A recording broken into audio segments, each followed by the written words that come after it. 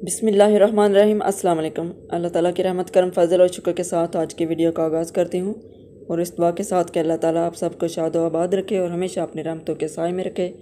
आमीन। आज मैं बनाने लगी हूँ बहुत ही मज़ेदार रेसिपी, बीफ बिरयानी।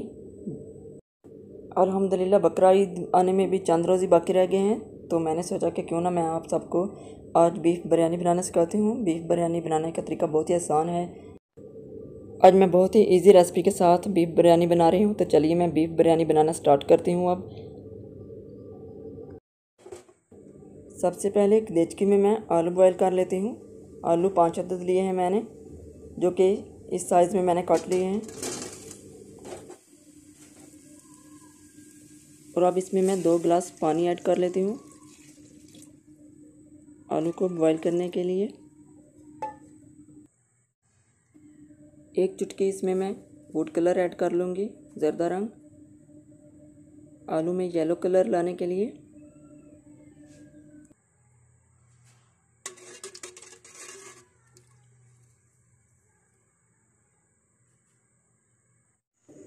आलू तो मैंने बॉईल कर लिए हैं, अब एक लेदर देचकी में मैं प्याज ऐड कर लूँगी। तीन अदद मीडियम साइज़ की प्याज ली थी मैंने, बारीक कटी हुई। और प्याज के साथ ही मैं इसमें ऑयल भी ऐड कर लेती हूँ।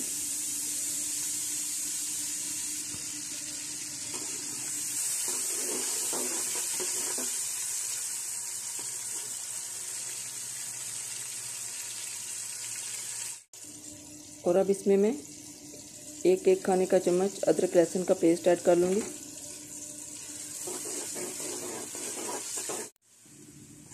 प्याज गोल्डन ब्राउन हो चुकी है तो अब इसमें मैं गोश्त ऐड कर लूँगी। एक किलो गोश्त लिया था मैंने।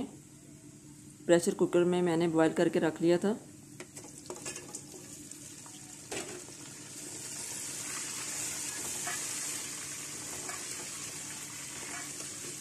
एक दो मिनट तक भून लूँगी।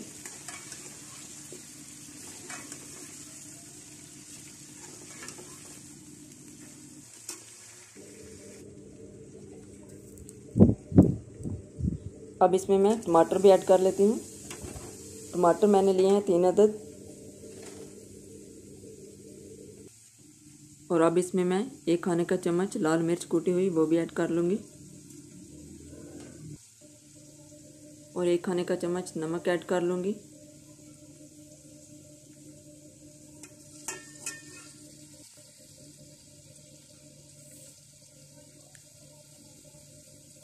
नमक अगर थोड़ा कम लगे तो थोड़ा सा और भी ऐड कर सकते हैं, अपने टेस्ट के मुताबिक। और एक छोटी चम्मच हल्दी भी ऐड कर लूँगी। और अब इसमें मैं बाकी मसाले भी ऐड कर लेती हूँ। मोटी इलायची है दो दद ये भी इसमें डाल लेती हूँ। और बादियान के फूल हैं, दो से तीन अदद। दालचीनी, दो से तीन अदद। तेज़पात तीन अदद। पाँच से छः अदद लौंग और पाँच से छः अदद काली मिर्च।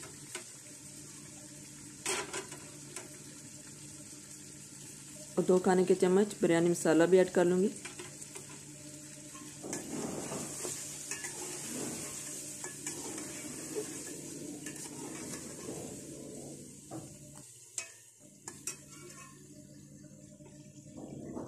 अब इसमें मैं आलू भी ऐड कर लेती हूँ, जो कि मैंने बॉईल करके रखे हुए थे। कलर आप देख सकते हैं, कितना अच्छा आया है इसमें। येलो कलर कितना खूबसूरत लग रहा है।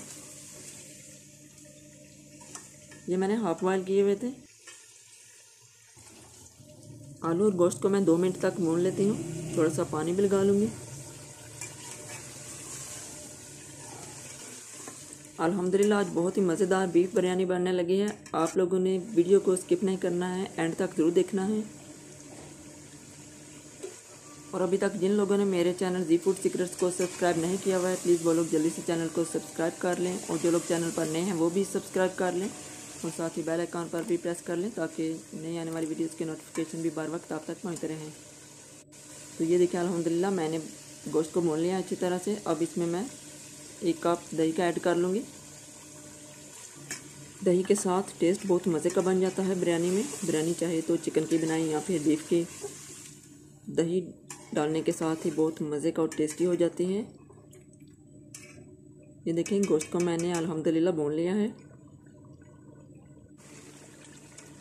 तो गोश्त हमारा तैयार हो गया है बिरयानी के लिए।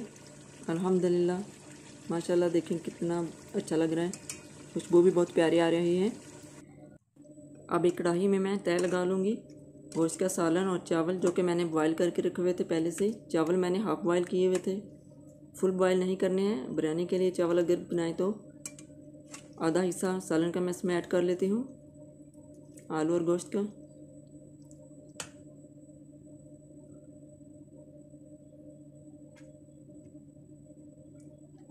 अब ऊपर ही मैं आधा हिस्सा ही मैं चावल ऐड कर लूँगी।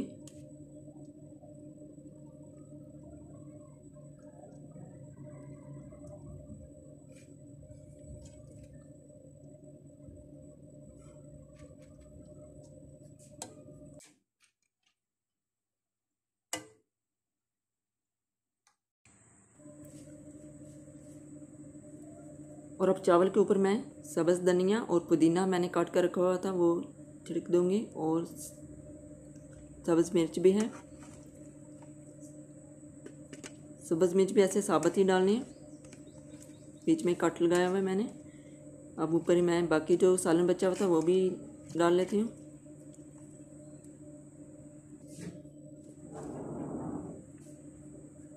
और लास्ट में जो चावल बच गए थे वो भी मैं यहाँ पर दूसरी तरह लगा ली। इसी तरह फिर पुदीना और सब्ज़ धनिया और सब्ज़ मिर्च भी डाल लूँगी।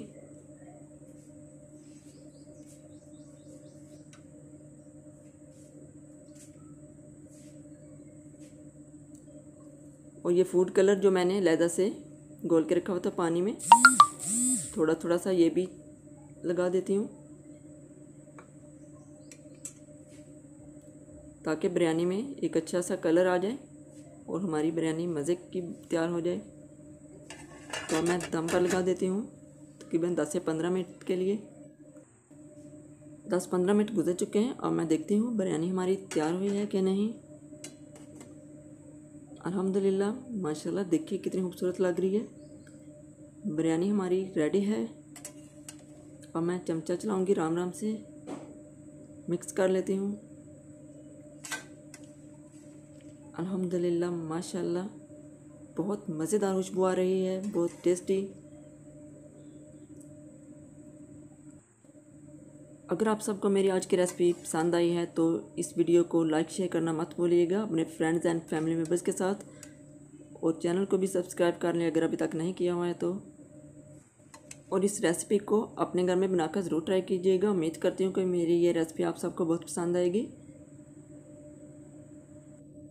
और मुझे कमेंट बॉक्स में अपनी राय से आगाज़ ज़रूर कीजिएगा कि आपको मेरी आज की रेसिपी कैसी लगी है।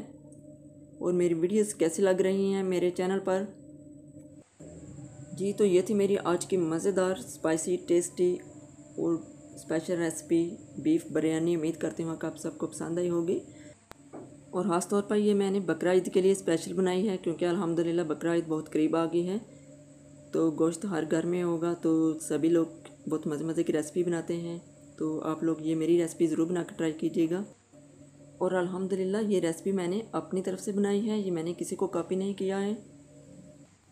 और आप लोग भी ऐसे बनाकर ट्राई कीजिएगा और मुझे ज़रूर बताइएगा कि आपको मेरी ये रेसिपी कैसी लगी है। तो अब मैं आप सबसे इजाज़त चाहूँगी अपनी नेक्स्ट वीडियो तक। अपना बहुत सा ख्याल रखिएगा और मुझे भी अपनी दुआओं में याद रखिएगा। अल्लाह हाफिज़।